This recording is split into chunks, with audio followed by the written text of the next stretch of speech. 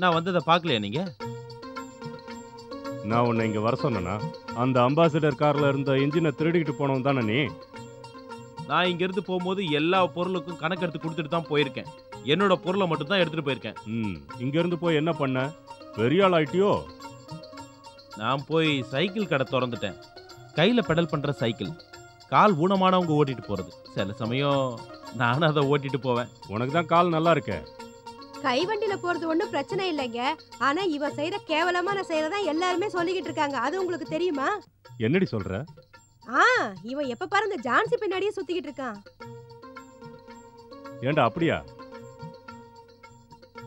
ம். அந்த பொண்ணுக்கு கையில இருக்கிற நாய்க்குட்டிய கீழே இறக்கி வச்சுட்டு பையனை பாக்குறதுக்கு கூட நேரம் இல்ல. அந்த நாய் மேல அப்படி ஒரு பாசம். நீங்க என்னைய நாயின்னு சொன்னீங்க?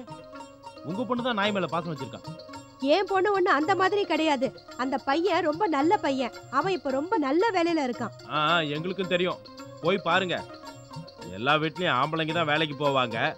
ஆனா இங்க தலைகீழாலாம் நடக்குதே. போய் பார்த்துட்டு வாங்க. ஆ நான் போய் பார்க்க போறேன். சரி சரி அதெல்லாம் இருக்கட்டும். நீ போய் ஜான்சி இங்க கூட்டிட்டு வா. ம். எப்படி பறக்குறான் பாத்தியா? ஆ, என்ன. சொன்னீங்க? போய் கூட்டிட்டு வான்னு சொன்னேன். ஐயோ என்னங்க நீங்க இப்படி பண்றீங்க? எதையும் ஒழுங்கா பிடிக்காம உடைச்சிடுறியே என்னத்த நான் உடைச்ச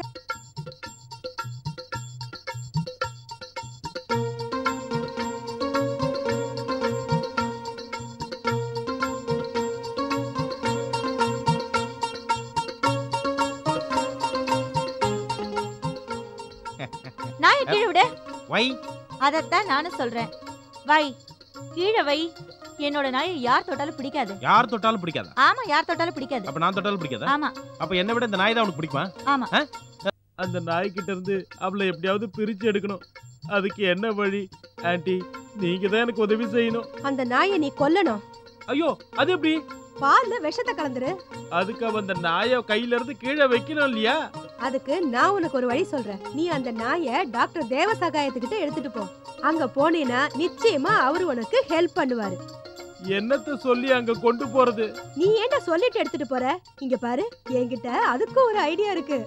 ஒரு உருண்டை சாப்பாடை எடுத்து அதுக்குள்ள விஷத்தை ஊத்தி அது மேல மீன் துண்டை வச்சு நாய்க்குட்டிக்கு போடு. அது அதை சாப்பிடும். மிச்சத்தை டாக்டர் பாத்துக்குவாரு. ஐயோ அந்த தேவசாய டாக்டர் வயித்த கிழிப்பாரு. நாய் சாகும். ரொம்ப தேங்க்ஸ் ஆண்டி.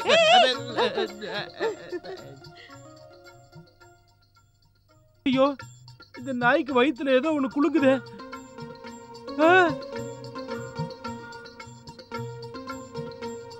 புரிஞ்சிருச்சு. அங்கிள் ஒர்க் ஷாப்ல வேலை செஞ்சுக்கிட்டு இருக்கும்போது அங்க இருக்கிற சின்ன பொருளை இந்த நாய்க்குட்டி முழுங்கிடுச்சு. இத நான் அங்கிள் கிட்ட போய் சொல்ல போறேன். ஆ. நானும் பாக்குறேன்.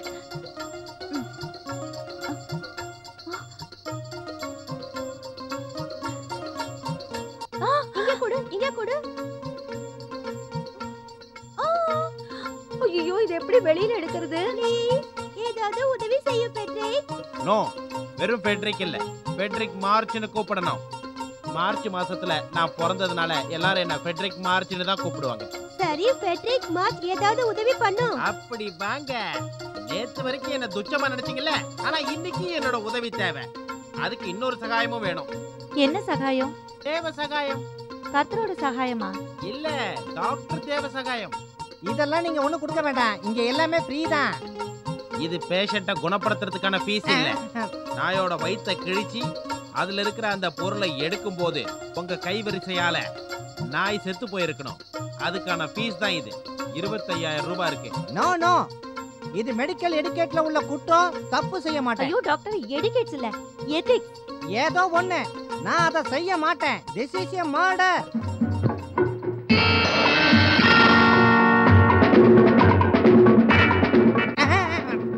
வார்த்தை பேசாத. நான் சொன்னபடி நீ செய்யல உன் கழுத்து அறுத்துருவேன். இது என் வாழ்க்கை பிரச்சனை. என்னோட எதிரியான அந்த நாயை சாவடிக்கணும்.